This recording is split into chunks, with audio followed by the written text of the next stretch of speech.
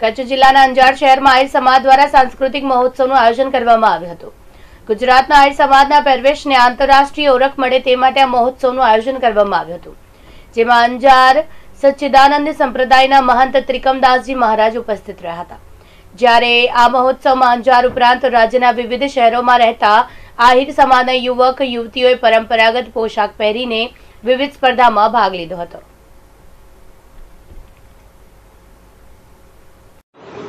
આજ રોજ આહિર સમાજ માટે એક, જેને કહેવાય કે સોનાનો સૂરજ હોય એ રીતનો કાર્યક્રમ સમગ્ર આહિર ગુજરાત સૌરાષ્ટ્ર કચ્છ કે આખા ભારતમાં જ્યાં જ્યાં આહિર વસતો હોય, એ આહિરનું શું ટ્રેડિશનલ ડ્રેસ છે આહિરનું શું વ્યવહાર છે આહિરના કેવા ઇતિહાસ છે, એનું ઉજાગર કરતો કાર્યક્રમની શરૂઆત જ્યારે આજે કચ્છ માટે ગૌરવ, એમાં અંજાર ઐતિહાસિક શહેર માટે ગૌરવ લે કેમ કે એની શરૂઆત આજે અંજારથી થવા જઈ રહી છે.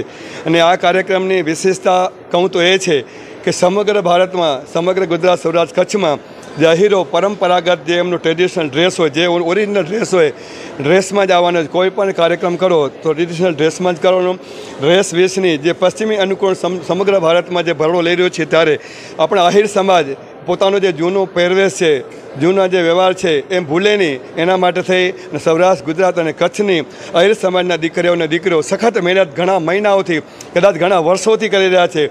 તો આજે જ્યારે આની શરૂઆત આપણા અંજાર મધ્યે મુરલીધર વિદ્યાલય એટલે કે આહિર બોર્ડિંગમાં શરૂઆત થઈ રહી છે. સમગ્ર ગુજરાત સૌરાષ્ટ્રમાંથી દીકરા અને દીકરીઓ અને સમગ્ર કચ્છના જે સ્થાનિક લોકો છે, આહિર સમાજના એ પણ પૂરેપૂરોને સહયોગ આપી રહ્યા છે.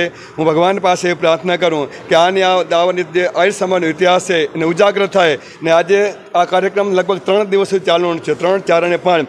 ત્રણ દિવસ દરમિયાન બે સત્રમાં સવાર અને બપોર પછીના એવા કાર્યક્રમો યોજાશે, જેમાં અહીંની દીકરીઓ, દીકરાઓ પોતપોતાનો ડ્રેસ લઈ અને પોતાનું ઇન્ટ્રોડક્શન કરાવશે. અમારા દાદા શું હતા, દાદી શું હતી, વર્તમાન પરિસ્થિતિ કેવી છે આના વિશેનો કાર્યક્રમ અહીં યોજવામાં આવે છે અહીં સમાજ દ્વારા.